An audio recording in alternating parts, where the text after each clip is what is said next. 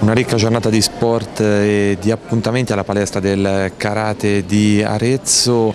Eh, quali sono stati gli appuntamenti principali di questa giornata? Abbiamo suddiviso in maniera equa la giornata incentrando la mattinata a disposizione per i bambini, per i più piccoli, un percorso propedeutico, poi il livello di kata, kata individuale kata a squadre e li abbiamo liberati subito anche perché essendo piccoli hanno necessità di non rimanere oltre misura. La seconda parte della giornata invece è incentrata sui kata di alto livello, quindi stiamo parlando di cinture nere, eh, cinture nere e, e, qualcuno reduce anche da qualche campionato del mondo e qualche campionato europeo. Eh, questa è una selezione che stiamo facendo per portare eh, una rappresentativa italiana in Polonia, in quanto a ottobre avremo dei campionati mondiali dalla WTKF, da World Traditional Cadet Federation e quindi stiamo oh, cercando di selezionare i più bravi per portarli poi a fare bella figura a livello nazionale, a livello internazionale. Tutte le età ma soprattutto anche atleti speciali se così possiamo dire abbiamo visto impegnati in questa giornata.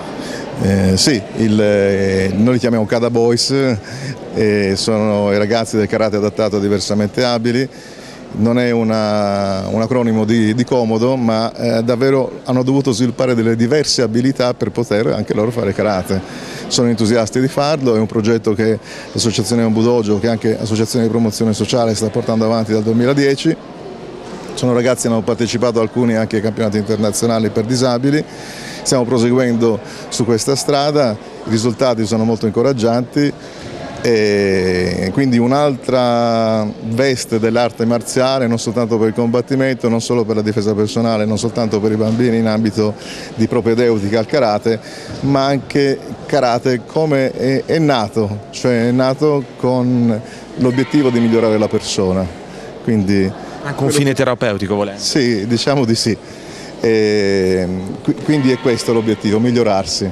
Non importa il delta, Abbiamo visto tante medaglie, tante coppe, insomma eh, saranno, sono state anche tante premiazioni in questa giornata. Eh sì, perché nel totale abbiamo avuto più di 150 atleti, mm, abbiamo eh, una grossa rappresentanza da Torino, 4-5 associazioni da Roma, eh, alcuni hanno dovuto dare forfè perché è una data un po' strana, eh, ci sono altre attività agonistiche in corso a livello nazionale, però è un primo passo, non abbiamo voluto aprirci più di tanto perché eh, l'organizzazione sta crescendo molto lentamente, però a piccoli passi però sempre avanti.